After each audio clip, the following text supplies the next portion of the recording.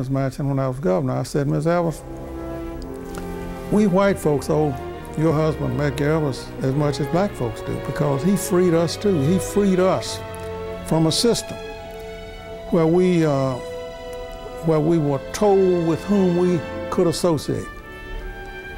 And we saw, we saw that we were never, Mississippi and the Deep South was never going to achieve its full promise unless we got rid of racial segregation. We did that.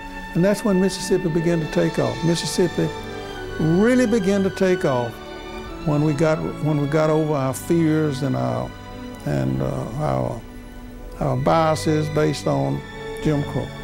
Okay, in that dialogue with uh, uh, Ms. Evers, that, that reminds me of a quote that's very powerful.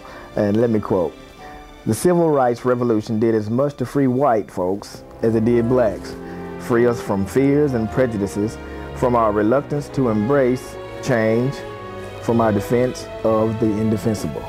What brought that quote on? Well, it was based on some of my actual experiences.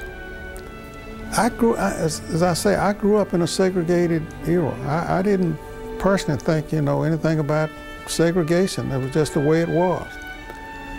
And then in World War II, I was assigned as an, as an infantry officer at Fort McClellan, Alabama, to a black infantry regiment.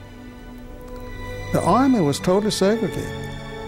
Black soldiers and white soldiers did not serve together in any of the services.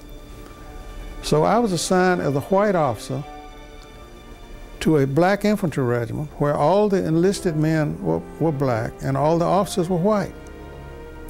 Shortly after I got there, the Army desegregated the officer corps, and I found myself serving with black officers from all over the country. And we did everything together. We shared all the facilities. There was no segregation on the post. But on weekends, we'd get on the bus together, my buddies, black buddies who were officers. We'd get on the bus to go into Anniston, Alabama, and they, my black officer friends would have to go to the back of the bus. They, we couldn't sit together on the bus. And of course, we couldn't eat together in a restaurant. We couldn't go to movies together. Couldn't even go to church together if we weren't inclined to do so. So I said to myself then, something's wrong with this system. And that we white folks uh, are as much prisoners as black folks are in terms of our inability to, to associate with each other. So that was uh, that was a part of the backdrop to my attitude in uh, working toward uh, eliminating discrimination and uh, racial injustice uh, in the in, in, Mississippi. wasn't easy to do. Uh, being in politics, you walked a fairly narrow line there, and if you got if you got too far out in front, then you got your head cut off. so I developed a reputation uh, in, in, in the 50s and 60s uh, as a moderate, a moderate. Uh, I always thought that was a, was a good, was a good position to take.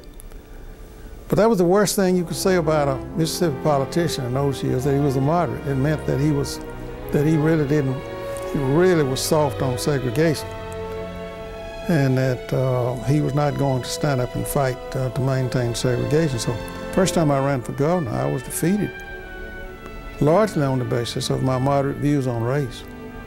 But I'm proud of the role I played, and uh, I wish I'd done more at the time, but I think I did nudge things along in the right direction, and as a result, we have a much better state than we had then. Now, changing the subject, tell us about Tell us a little bit about your role in bringing public kindergartens to Mississippi.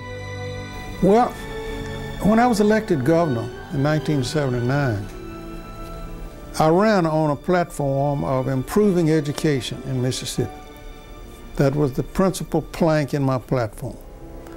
We were dead last in almost every category by which you measure the quality of education in Mississippi. And what we were most dead last in was in terms of public kindergartens. Mississippi was the only state in the nation that did not have a single state-funded kindergarten. And it was, it was a hard fight to get them. Finally, in 1982, in the third year of my administration as governor, we passed a sweeping Education Reform Act, which did a lot, I think, to bring education, the level of education up in Mississippi. But the linchpin in that, in that whole act was the creation of public kindergartens, where Mississippi uh, established kin public kindergartens in, in every school in the state. The consequence